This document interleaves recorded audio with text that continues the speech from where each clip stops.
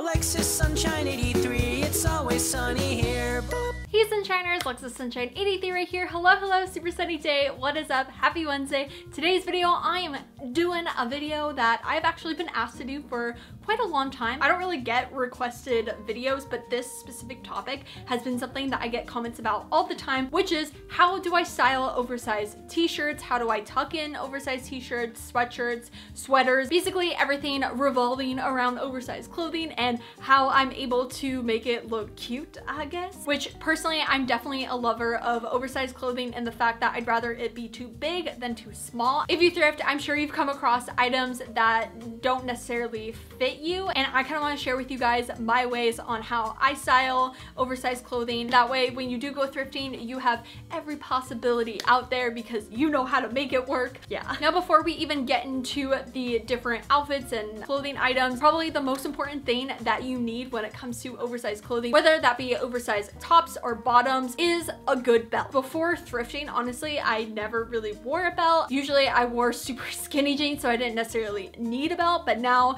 that I'm way more into mom jeans. And again, thrifting, you're never really gonna find the perfect pair of jeans that fit. Finding belts that actually fit my waist because specifically I personally like high-waisted jeans has been really important. I always found that new belts just never fit my waist right. They were specifically for your hip. So thrifting specifically belts has been really awesome. The belt I'm wearing right now is thrifted. This one has a cool like design on it as well. Then when it comes to the clothing items that are oversized, having a belt even with some sort of design or some sort of like popping out feature will kind of break your body, if that makes sense. Break it into pieces of like top and bottom versus like just an up and down. And this one is definitely like a high-waisted waist belt. This one will just like really make it nice and tight. Sometimes with this belt, I'll go for my jeans that are just slightly oversized, whereas I have this belt, which is just a black and gold belt. Yes, it's plain, but then you have the gold detail. So when it's like that, like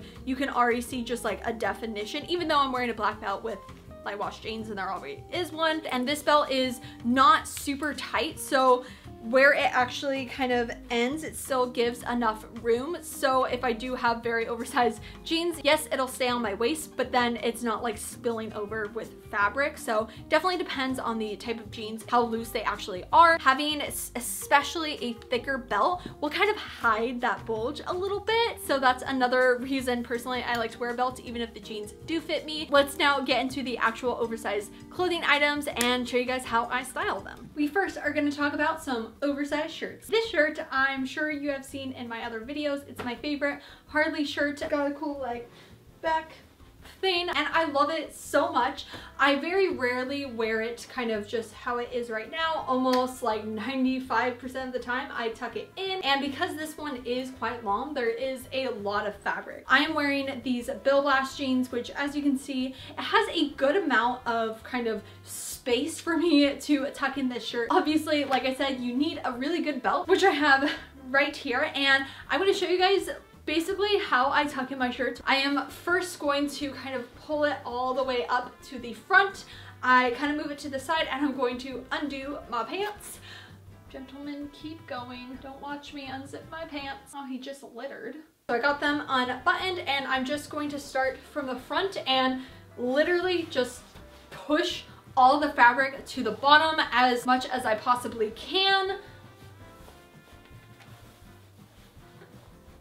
where this shirt actually hits is like right here. I mean, it's pretty intense and the biggest thing we don't want is for it to bunch up because it's not fun. And so it's kind of at a point where it's smooth enough. Oh, there's kind of a chunky piece in the back. We are going to pull up the jeans, button them, take our handy dandy belts, do it all the way. We're gonna pull up our jeans intensely to get the jean fabric over the belt because that's my favorite thing is when you have, you know, that excess fabric on top of the belt and I kind of pull that up. And to an extent, I mean, the shirt's tucked in, we're basically good to go. But what I'm gonna do because I like it to kind of spill over a tad, I'm gonna kind of pull a little bit out. And just like that, that's basically how I tuck in all my jeans. As you can see, there isn't too much of any type of bulge just because I really smoothed it out before I even buttoned up the jeans. With this, because the sleeves are quite oversized as well, I always like to fold. Voila, just like this.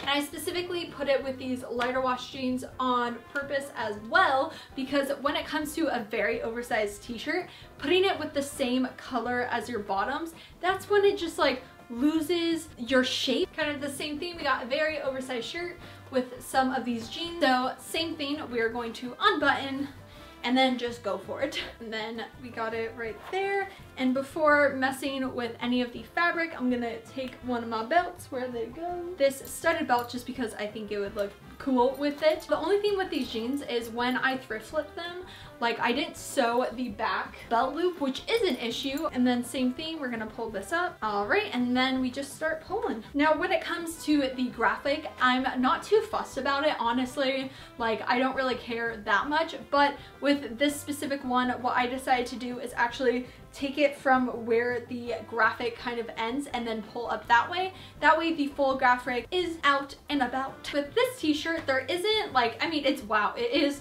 quite long, but it's not as like wide. Nothing to see here, just my hands and my pants. It definitely still kind of bunches up attached. To kind of like help with this, there are a couple other things that you can do. If you are wearing a bra, you can actually like tuck the bottom of the shirt into the bra. That way it just naturally creates its own cropped shirt. Or if you want to show a little bit of skin, you can actually take just a hair tie and kind of wrap it around the front of the shirt and then fold that in.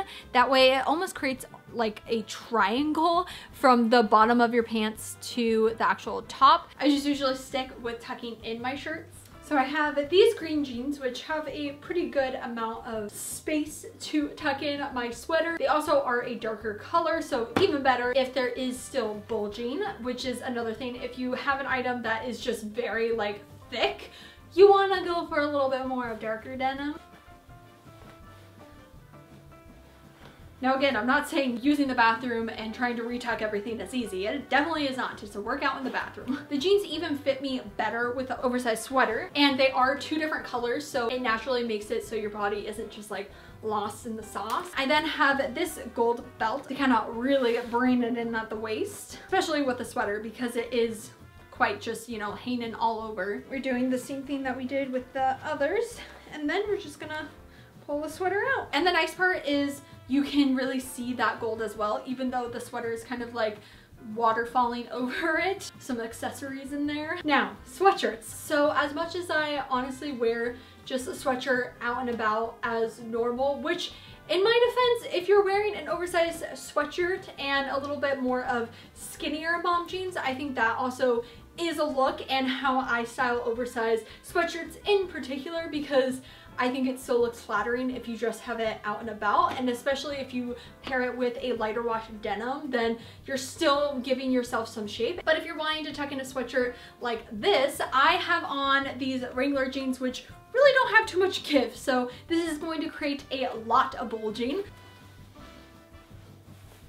It's like its own workout. Now I gotta try to figure out how to button this. Alright. I don't know if you guys can necessarily see, but like there's just so much fabric just all around and doesn't look that great. Another thing you can do that isn't revolutionary whatsoever and just reminds me of high school days of just put in a flannel around your waist. Before I do that, I am gonna put a belt on this, even though I don't need it for the shape. Having it kind of pop out with the flannel will just give it a little bit more than just a sweatshirt and jeans. And I'm just gonna take this flannel, and it's an oversized flannel, so that is just perfect. If it's too small, then I think it just looks kind of weird. I mean, you guys don't really need a tutorial on how to tie a flannel. And I'm kind of just putting it right above the belts so it still kind of pops out. Ta-da! Hiding all the bulge. Hiding the bulge up front as well. Even the parts that are just like right there, the sleeves are covering that right up. It's creating that nice little the only thing I do have to say, obviously, about tucking in your shirts or sweaters is going to the bathroom. It's just never gonna be fun. A lot of times when I like use the bathroom when I'm out with like friends, uh, all I think about as I'm like re-tucking in my shirt is like, oh gosh darn, they're gonna think I'm pooping and I'm not pooping. Hopefully my tips made you feel a little bit more confident in styling oversized clothing and that doesn't necessarily mean that it's too big. It could also just be too long for you. Personally, when it comes to like cropping shirts, number one, it can be a mess and you can ruin a really great t-shirt, but also sometimes I just really like the look of kind of the spillage of the top, if that makes sense. If you guys like thrifting videos, thrift haul, thrifting with me's, make sure you hit subscribe right down below and hit that little bell to be notified every time I make a new video because all the items I did show you basically were thrifted. If you guys would like to stay up to date with me during the week, make sure you're following me on Instagram and Twitter, AlexaSunshine83, and I will see you guys on Sunday with brand new Sunday Sunday video. Enjoy life, be happy, and I love you lots. Bye!